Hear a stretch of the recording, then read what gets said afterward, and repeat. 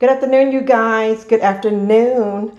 Another day's journey, and I'm glad about it.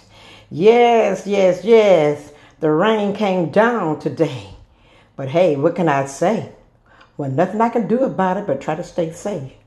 But yet, I still found time to give God some praise today. I went to Sunday school, then we had church service, and we had communion today. So, yes, honey, it was all good and all worth it to give God his due. So I didn't mind. Everything was good. but anyway, I have decided to come on here right quick to show you all what I had cooked this day. I've been relaxing watching television after I did this, so I was late coming on. But nonetheless, I still um, managed. I said, let me get up here and show them this food. but yes, I did something quick, something simple, but yet uh, tasty. You know, as how I do. You know how the big chef Deb do. But anyway, yes, today I'm start off with my barbecue chicken. I did some barbecue chicken today. Came out real nice. I um, had glazed, uh, coated it with some olive oil. And then I used a little mustard. And I put some hot sauce in there. And I had some um, onion powder. I had some garlic powder. Some paprika.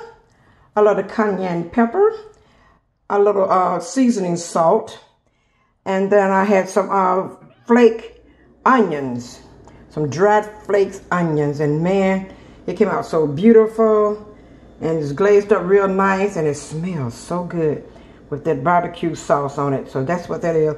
Oh yeah, and I used some that apple cider um, um, smoke, liquor smoke. I used the apple kind this time. I wanted to try a different liquor smoke.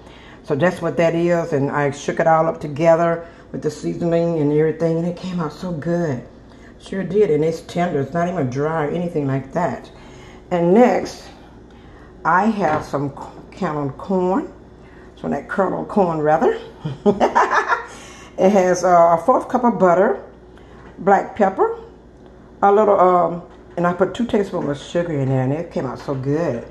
And um, didn't take long to do that, and I love that. That corn corn came out real nice, real good, and not too um too watery. Because I don't like it. I like it crispy, like you know. I don't like to overcook my corn. And I did some good string beans. Yeah, some string beans with um, one tablespoon of onion powder in there, one tablespoon of butter, and I put me some iced potatoes in there Yes, I wanted some iced potatoes, so I did that. And, um, and I put a little sea salt in there instead of regular salt. I used some sea salt, and it smells so good with that onion powder in there. And black, oh, and black pepper. That's what I put in there. So that was what I did. Some string beans. And last but not least, I did some cornbread. Mm-hmm. Cornbread from scratch.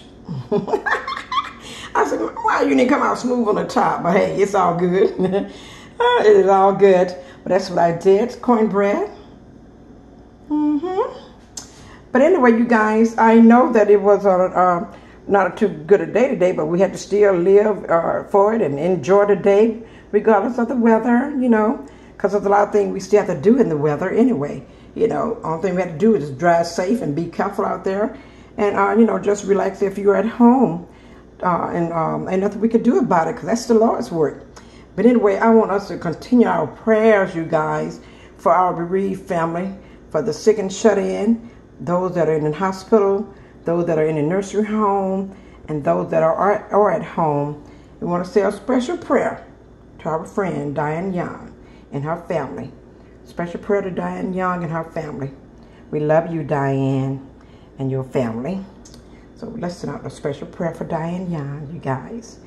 But anyway, you guys, I like to um, thank you all for always viewing and checking up on your girl and giving me those good likes and those beautiful posts and comments that you all make.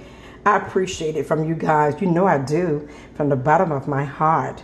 With But with that being said, you guys, stay safe, stay blessed, love on each other. Let somebody know that you love them. And please check on each other, you guys. it's no cost nothing but a time, you know what I'm saying? Time to do that. Share your time with your loved ones. Call them, text them, go visit if you can, you know, because we never know. We just never know. But anyway, you guys, stay safe, be blessed. And as, as always, bon appetit. And I love you guys. Yes, I do.